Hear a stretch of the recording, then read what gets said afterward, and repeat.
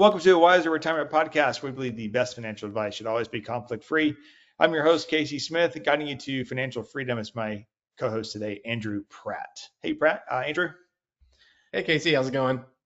Good. So uh, I am in not so sunny Florida where it's uh, warm and drizzly, and you're sitting at my desk. This is weird. This is what everyone else sees, I guess. Yeah. I feel like I'm, I'm, I'm the man on the outside. Sitting at your desk, looking at a cloudy and slightly cold day here in Marietta, Georgia. well, um, I do miss Wiser Global Headquarters, but uh, this is a horse week for us. My daughter is um, competing at Terra Nova, which is uh, just outside Sarasota. So uh, don't get down to Sarasota very often. It's kind of nice down here, actually. Uh, explains why the home prices are crazy high. Everyone wants to come here during the wintertime, I guess. So let's talk about um, the 60-40 portfolio. So if you're, uh, I think most people kind of know what we mean when we say 60 40, but basically that means 60% stock, 40% bonds in a portfolio. Historically, it's been a very efficient portfolio to invest in. It's, I think it, it, it's honestly, it's my favorite retirement allocation. Um, we we favored 70 30, I guess, for a little while because because of uh, hardly any yield in bonds, and for a while there you got more yield in stock. But the the bond yields are coming back up and, you know, I, I just everywhere I read, 60 portfolio is dead, 60 40 portfolio is dead. And honestly, what it comes down to it is you can't believe anything you see or read these days. Right. Um, because, you know, here, this is my opinion. Uh, I came back from the Schwab conference in Philly a few weeks ago. They had a whole panel on this, and everybody on the panel had an incentive for you not to buy a 60 40 portfolio. They were mm-hmm. alternative investors, you know, they're pushing some tactical strategy with their with you know with a mutual fund or whatever it was. Um, I, I, I still tell people it. I think it was two Christmases ago. I was reading this great article, great article in the Wall Street Journal on why value investing would be the way to go forward and no longer growth investing and I sent it to uh, Brad Lyons at the time, who was doing your job, and he responded back. He says, "Well, look who the look who wrote it." and sure enough, it was like one of the biggest value fund managers. Uh, yeah. So yeah, it's like yeah, of course you're going to write about that. that. That's your agenda, right. which is uh, which is so frustrating. So I wanted to do um, a little quick segment here on the 60 60 40 allocation, and perhaps perhaps its depth has been over exaggerated. Yes. Um, you know, as you mentioned, um, there's a lot of noise out there, clickbait, I guess, if you want to call it that. Um, you know, we'll be honest though, the 60 40 portfolio uh, had a rough year in 2022. And I think that's where, um, you know, some of these, whether it's uh, news publications or fund managers, they're trying to pick on it because the 60-40 portfolio actually over time has done very well. And as you mentioned, it's it's a simple um, asset allocation strategy. It's you can create it in a low cost and an efficient manner. And you know everyone's trying to sell you some. You know, not everyone, but a lot of people are trying to sell you something that's more complex um, and trying to get your business that way. So I think um, you know this was a good time to pick on it uh, after tw- uh, 2022's performance of that benchmark portfolio. Um, but again, you know, it's done very well, uh, you know, since if you go back, I think in the 1920s, over, you know, almost 100 years, the portfolios on an annualized return basis has returned over 8%, which I think most investors would take that any given day. And then, you know, looking, you know, we, at Wiser look at risk adjusted return and not just looking at um, you know the return side, but also the risk. And um, the 60-40 provides good balance. It's a moderate return with a moderate level of risk, and this diversification does over time, you know, help provide uh, good risk adjusted returns to the portfolio. Yeah, we, when we do financial planning, we don't even account for an 8% rate of return. Our our assumption is portfolio, um, the most aggressive portfolio is going to be around 6.6, 6.7%. Retirement portfolios are going to be around 5 to 5.4%. So the fact that it can outperform a retirement benchmark is is uh, is good and and should be expected. I I will add too though that you know most investors don't get an eight percent rate of return, and that, and that's because right. they do things with their money like going going to cash at the bottom of financial crises. Yeah, um, they're, they're return chasers. Yeah, and and so, there'll be like a bad year like 2022, and then they'll you know. Now, why was why was 2022 so bad for a 60-40 portfolio versus any other portfolio? Yeah, so 60-40, um, you know, 40% that 40 is invested into the broad U.S. bond market index. You know, it's changed names recently. It's the um, Bloomberg U.S. bond aggregate. I think most people probably know it as the Barclays U.S. aggregate. Um, but typically, you know, bonds and stocks do poorly when there's rising inflation and or rising interest rates. And um, you, you, know, starting in uh, 2022, we had the Fed raising rates to sort of tame and, and combat inflation. Um, and they raised, you know, now we're sitting at five and a quarter Fed funds rate.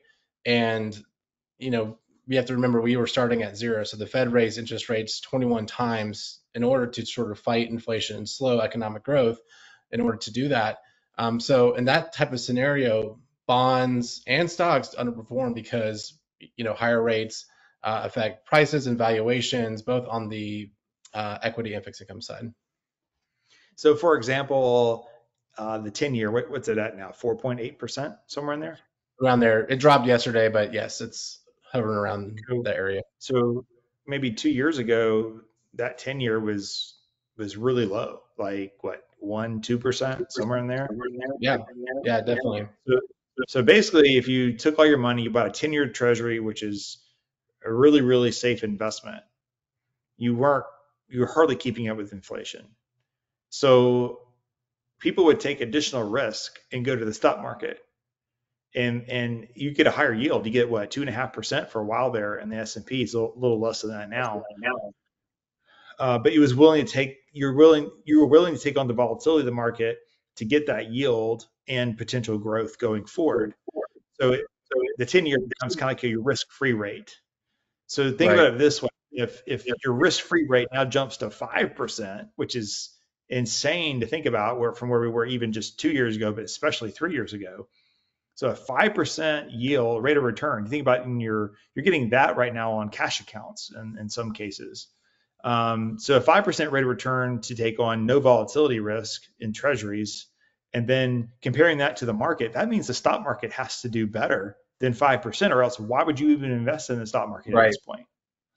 right? Yeah, so then, so that so that whole right. process is, is money reshifting. That means that the private equity guy who used to do really good 10, 15% rate of returns, the private equity guy, uh, he's he's got to go do something closer to 15 to 20 now, right? To right. make it worth maybe higher than that, honestly. Yeah, and you know, as you said, the I think the long-term average for equity, you know, U.S. equity volatility is 18%, and you know, why take that risk on where, you know, just based on expected forward valuations, um, they're similar to where uh, the valuations of risk-free bonds are. Why take that risk on when, you know, again, risk-free bonds are a 0% volatility. Um, so yeah, there's there's that thing to consider. There's also, you know, if you're in a distribution phase of, in retirement and and or like a endowment or foundation that is seeking like a 6%, 7%, or even less return um, for your portfolio, it makes sense to sort of rotate in these, um, you know, into fixed income that's less risky, that's yielding that, um, you know, these long, longer term bonds that have those higher yields. So basically, rising interest rates is what broke the 60 40 allocation in 2022. How bad was it? Like, how bad? you know, I know that there's very few times in history we had that much of a drop in bonds and stock. Right. Um, yeah. So that's the, I think the third worst performance of the 60, port, 60 40 portfolio, portfolio over the past 95 years. So, um, but then again, you know, so it was down about 16% in 2022. Uh, if you look this year in 2023, that that benchmark portfolio is up about nine percent. So already we've you know recouped about half of that. Um, but yeah, the portfolio does tend to not do well in you know high inflation periods and then also significant you know risk off periods like recessions.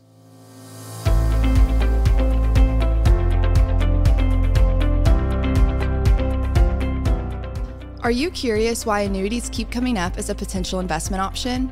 People are often told that annuities can effectively mitigate investment risks and help secure their financial future. However, annuities often benefit the salesperson and might not be the best choice for you as a consumer. To learn more about the various types of annuities, the negatives of owning them, and better investment alternatives, we have a free ebook on our website just for you. To download our ebook, Buyer Beware Why Do They Keep Trying to Sell You That Annuity? Simply click the link in the episode notes or visit wiserinvestor.com slash guides. Now let's get back to the episode.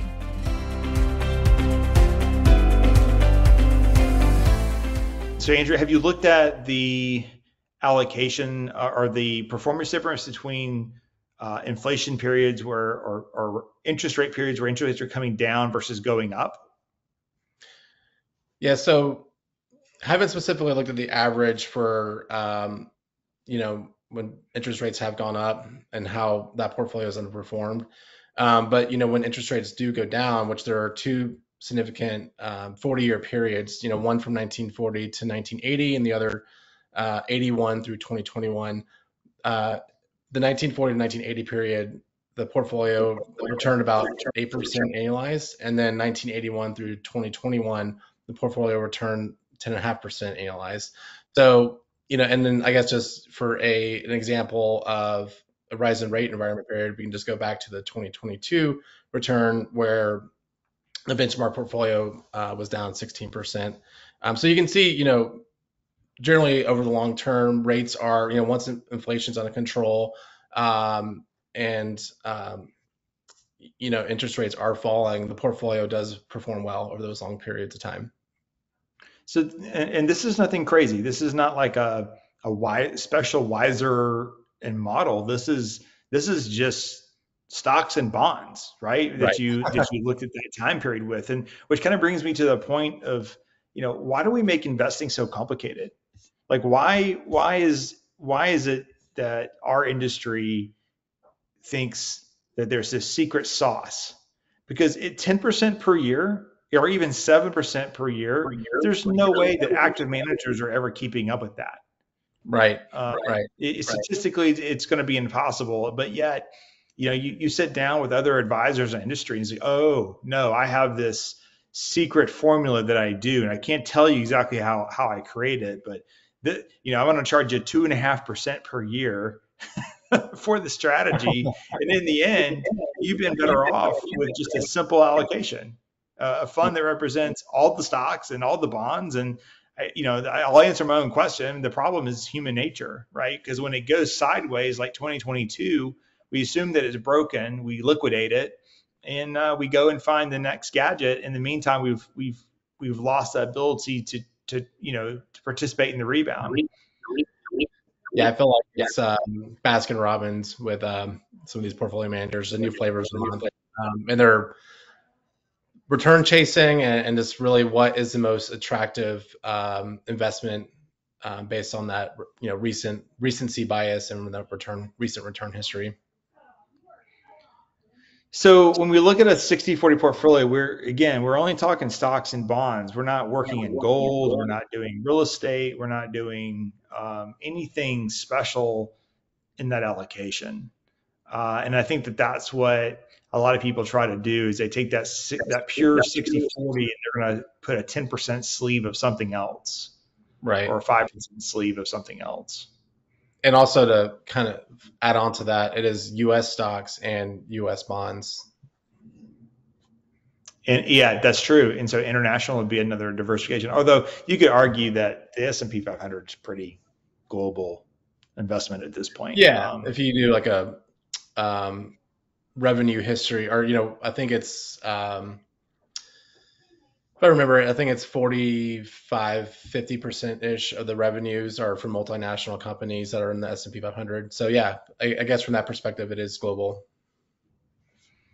So we think about like the worst ever years, and you're talking about 20, um, 2022 uh, down 17%. During the Great Depression in 31, it was down 27.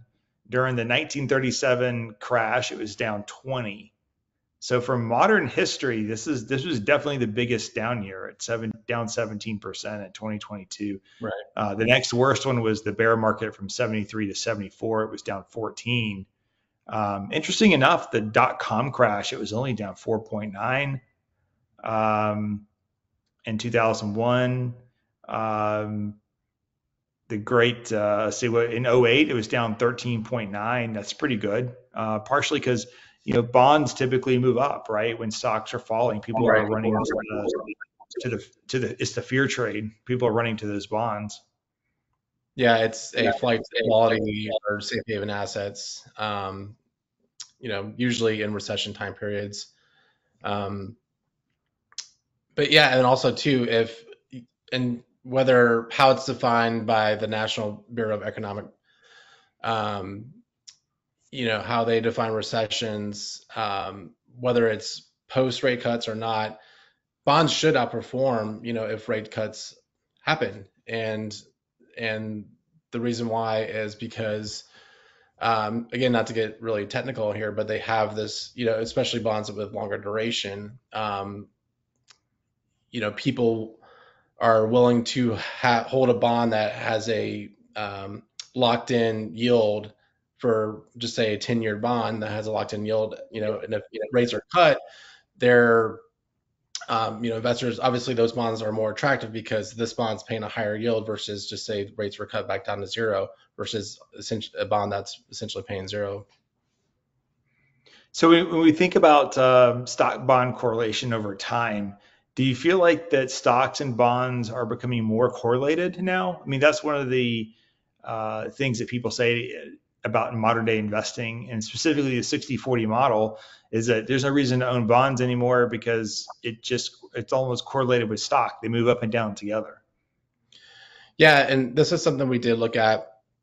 Um, so stocks are and bonds are co- more correlated. If you look at over the past one year um, they're about uh, ha- they have about a 0.78 correlation and that correlation again just means that they're they would move in lockstep. So a zero correlation really means there's no relationship between two asset classes. A one correlation means that they're perfectly, uh, yeah, I'd say perfectly, but they they move in sort of lockstep. And then a negative one correlation on the other side means that they actually move in exact opposites. So over the past year, stock and, stocks and bonds have been fairly, you know, highly correlated compared to their long-term average. Um, so that 0.77 is very high. If you actually just go back over the 10 years, um, stock and bond correlation has been around 0.3. You would expect it to be, you know, flat, you know, maybe slightly above uh, zero or maybe even slightly negative. But if we go back over the past, um, you know, 45 years, that average is, I think, like 0.2 of a correlation. So obviously compared, you know, from today to the long-term average, those two asset classes are very correlated but through history, this has happened before. Um, right. In the 90s and the 80s, there were time periods where stocks and bonds uh, did approach um, uh, near perfect correlation. Um, you know, that 0.78 seems to be a uh, be the high point. So it'd be very interesting to see what happens going forward, especially if we have a recession looming uh, in the next year, which is a whole nother right. conversation. Um, that's when I would think that bonds would suddenly become uncorrelated with stocks as people uh, make shifts in their risk tolerance. Right. And I think also too as you know the expect the market expectations for inflation and rising rates. Um, you know, s- since the the most recent Fed meeting, um, those have started to fade. And actually, a popular uh, tool to look at that you can just Google is the CME, the Chicago Mercantile Exchange Fed forecast tool, and it shows um, where the market expectations are on future um, Fed rate interest hikes. And you know, looking one year out, you can actually, you can actually have a forward outlook. Right now, there's no prob basically essentially zero probability that will be another rate hike from here. And this is actually have, has been coming down over the past several months. And then you know just to put in perspective, one month ago we were at seven percent for one more rate hike. So the market expectations now are, are saying that there's no more um, uh, interest rate hikes, um, and that's also it's been coming down from the communication from Jerome Powell at the last Fed meeting, and also yesterday's uh, CPI print was uh, beat expectations. Beat meaning that it was lower than uh, inflation was lower, core inflation was lower than uh, what the market expected, and also based on that, um, the market is pricing in um, less interest rate hikes. Um, so Which, yeah, I say that. It also means that um, there's a chance of lower rates going forward, Fed lowering Right. interest rates. Right. And I say all that because um, this is when bonds tend to do well is when, you know, because the, the main concern is that their rates are, there's going to be an unexpected rate change from where we're at now. So now based on, you know, the recent events, the market is, you know, yields have been coming down lower. And then as we spoke earlier, longer duration bonds have been outperforming um, ever since, you know, November 1st. You know, whether that continues to hold true or not, we'll see. But um, again, it's just if there's no more interest rate hikes, even if the he- the Fed holds steady from here on out, uh, investors in the market will start to price in um, lower rates and yields, and that's what we've seen in the past few weeks with yields coming down.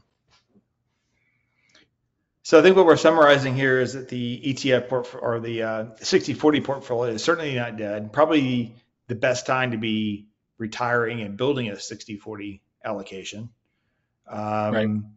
And you know, sometimes you just have to wade through some nasty times uh, in any investment strategy. I don't know of any investment strategy that's been straight up the entire time. No, You know, sign me up for that one when you find it. I know, right? But that's but that's what people expect. That that's the expectations people have is like, oh my gosh, and in 2022, I'm tired of losing money. But then if you look at their portfolio over the last 10 years, it's been an amazing 10 years, even at the worst point in 2022. You look back, you're just like, well, you've had a really good 10 year run. This is a little tiny blip uh, across across the screen versus where you've been and probably where we're going overall. Right. So another thing I'll add too is uh, politics and portfolios. I, I think 2024 is going to be a horrible year um, to be a financial advisor, just from a politics standpoint. Um, probably a horrible year to be uh, at a college. You know, those young people with energized with all political action. You know, can't imagine uh, uh, what it's going to take to to keep college campuses. Uh, civil um, or even the coffee shop civil honestly i think because we're look, we're looking at another rematch trump biden and trump's got more baggage now than he had uh, uh, in, in the in the first two times right? So Yeah. it's just very polarized. And the bottom line is in a 60-40 model or any model that's built off of index funds. It just Right. doesn't matter. It just Yeah, doesn't matter. I completely agree with that and to stay the course because if you, uh, just for example, if you go back to um, the 2016 election, everyone was touting, oh my gosh, this is going to be the best time for financials and energy stocks with Trump with his policies. And it was actually, I think, during that period, it was one of the worst times for those sectors. So again, you again, you can't really game plan for that or you know be very tactical around what you think the policy um, moves will be with the current president. So again, just stay the course and then you know just buckle up for the for the volatile periods. Yeah, the only way to reduce that volatility is going to be short-term treasuries. I think that's what it comes down to. Um, I just go back to my litmus test.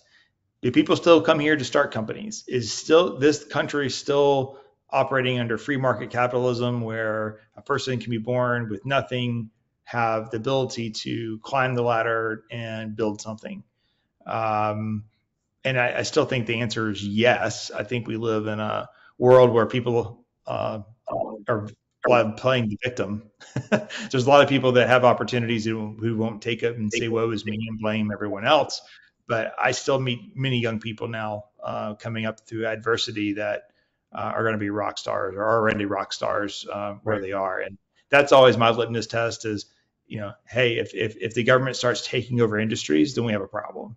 And maybe right. this is no longer uh, the best place in the world to, to be uh, conducting business. But I, I, think the bottom line is, is um, you know, politicians can do some damage, but uh, there's nothing that really squashes the American uh, economic system, really. You know, right. Uh, when it comes down to it, people, people, people working, doing the work that has to get done, and that's what you have to focus on when you're when you're uh, looking at the looking at the stock market long term. Is like, is this still a place we can do business? Uh, even was, even with just all the wokeness that's going on in these large S&P 500 companies, which we have a tremendous exposure to. The bottom line is they're all having to do it to check a few boxes to make sure they they show up in the biggest investment. Yeah, and, and I, yeah. The bottom line is um, we don't have to do anything with ESG investing. It's all it's all ESG investing at this point. Just whether or not you're going to pay for a label at 15x uh, mm-hmm. the price of the standard index. Um, but but again, is this a place where you still can do business? And I, I think the answer is resounding yes. Right, and again, the primary goal is your target rate of return to get you to retirement. Um, and whatever goal you set, excuse me, to meet that that that objective. Um, you know, wokeness aside, that's what we're here for, and that's and that's we're building portfolios to meet those objectives and and sort of uh, filter out the the noise from you know individual companies, and that's why investing in broad diversified indexes. Um, yeah, there might be some in there, but it's still at a very minimal um, you know, on a whole absolute level, it's a very small percentage if if you're invested in an index fund that has companies in it. Yeah, yeah. It's like it's like I tell my teenage daughter, right? This is uh, this this is where you this is where all the girl drama is, and you have to be five notches above that, right? like like you you you see it, you observe it, but you don't participate in it, and and you just you got to be above it. Uh, it's the same way with politics and investing. There's all this noise and, and nastiness, and then the bottom line is you just you got to take yourself above it and not participate in it because right. nothing right. nothing good comes of it. In the end, you own yeah, 6,700 companies, you own 12,000 bonds. It's it's not going to make or break uh, a portfolio, which is how it was designed. And statistically, right. you have a you have a 98% chance of beating every active manager out there just mm-hmm. by owning the, the raw index. So it's it's um, it, I don't know. It, I, am not, I'm not looking forward to it. Um, 20, 20, New, New Year's Eve of uh, uh, 24 is going to be uh, hopefully the, the beginning of a very short year. Let's just hurry up and, and, get through it.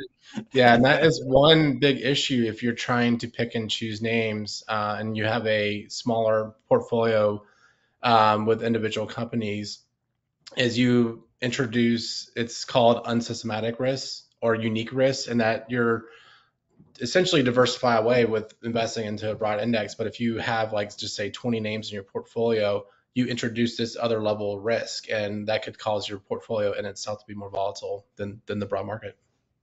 Yeah, we've seen that with uh, just some of our prospective clients, right? Where they they pick these safe names uh, in their portfolios and they build their own stock portfolios, but they've underformed a benchmark by double digits um, because they don't they don't understand how to build a diversified portfolio. And you're right; it takes 16 to 20 individual stocks to replicate a diversified portfolio, but you still got to pick the right ones right. Um, in in the group.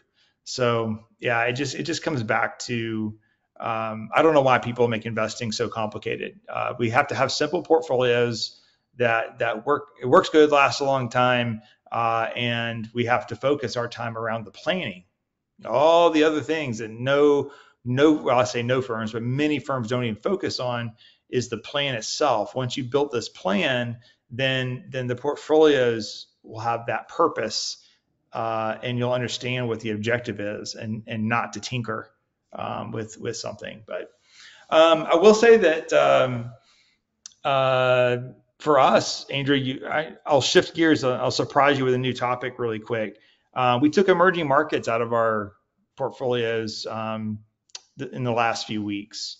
You want to talk a little bit about that and, and why we decided that emerging markets didn't really have a place inside our in our portfolios? Sure, I think there's a few reasons. One is uh, it was a very small allocation to begin with. Um, so just from a attribution standpoint, it wasn't really providing much diversification or you know differentiation from that regard. But also too, um, if you just look over the long term, it's really hard. And I think they're you know not to kind of um, get off passive because I, I, am a, I am a strong believer in passive, but I think there are some areas where active can do well, and I think passive emerging markets is not one of those. Um, it's really hard to kind of navigate the different um, geopolitical risk and you know in a passive uh, fund that's looking to get a market cap weighting to those types of risk and um, so that was that was the other reason. And, and then a third reason is just really just looking at the return and risk characteristics over the long term. And it, you know, had a worse profile from a from both from a return and risk standpoint compared to like a broad international developed fund. So based on all those reasons, we decided to remove it from the portfolio. And then we removed uh, the the real estate investment fund also. Yeah, and somewhat similar. Um, rationale, obviously geopolitical risk aside, but you know, just looking at the the long term, over the long term, you know, total return, including because a lot of times people tout, uh, you know, REITs or public real estate to have uh, a nice yield, but if you look at the total return, and um, it was less than the SP 500, which is one of our co- core holdings in the domestic equity portfolio, and also carrying more risk. So I sort of view it as our our base case um, benchmark is SP 500. If it makes sense to technically deviate deviate away from that, um, then we should. But in this case, uh, REITs, public REITs, didn't really provide that value from a risk-adjusted return. And quite honestly, a lot of our clients have second homes or large primary homes um, that do check that kind of that real estate uh, box, and then all uh, our ultra high net worth clients um, have a lot of them have commercial properties and, and things individually, which uh, is very different than owning owning the REIT itself. Um, right. I, I, did notice that you know these flattening interest rates, REITs have gotten a little bit of a boost. That was a little frustrating, but I think um, yeah. But we, we still look at like large office REITs. You know, you have you have downtowns like just still empty. Uh, those buildings are not full, so that that's a risk too going forward. Yeah, the risk, I would say risk on um, asset classes like, you know, real estate, small caps got a little boost lately because of, you know, yields coming down, which makes sense because these are, you know, inherently riskier and with lower interest rate and lower discount rate, um, they're, you know, probably going to outperform for periods. But, you know, again, what we're looking at is over the long term and, you know, building portfolios with a strategic um, outlook. Um, so, um, but we still believe that these moves are, um, you know, that these moves are warranted. All right. Well, thanks for that update. Um, thanks for listening to today's episode. If you're interested in learning more about Wiser Wealth or want to schedule a consultation, meet with one of our fiduciary financial advisors, you can do so by going to wiserinvestor.com. You can also click on our episode notes. Uh, in our notes, we also have uh, a reference episode 182, investing for the long haul, creating a retirement focused investment strategy. Uh, episode 165 was good. Five principles of successful investing. Kind of broke down our investment strategy. Uh, we have a YouTube channel called A Wiser Retirement, same as the podcast, where you can watch this podcast live. Uh, pros and cons of dividend investing is uh, one I did uh, a few months ago. Also, two buckets, um, two bucket investment strategy, income strategy versus total return is a video that we did for you guys. Um, you know, Andrew, I don't think that this podcast was entertaining as entertaining as the last one on whiskey, but uh, we, we kind of gone from uh, super uh, uh super holiday fun to uh, back to business very quickly. But um, I, I did get I, the invite for that whiskey one. right, um, and then we've we've. Uh, we've, I think we've got a few good shows here. we'll produce here shortly for as we go out for 2023. But uh, thanks for your time. Enjoyed having or enjoy having you on the team. And uh, thanks to all, our, all of our listeners. We'll see you guys next week.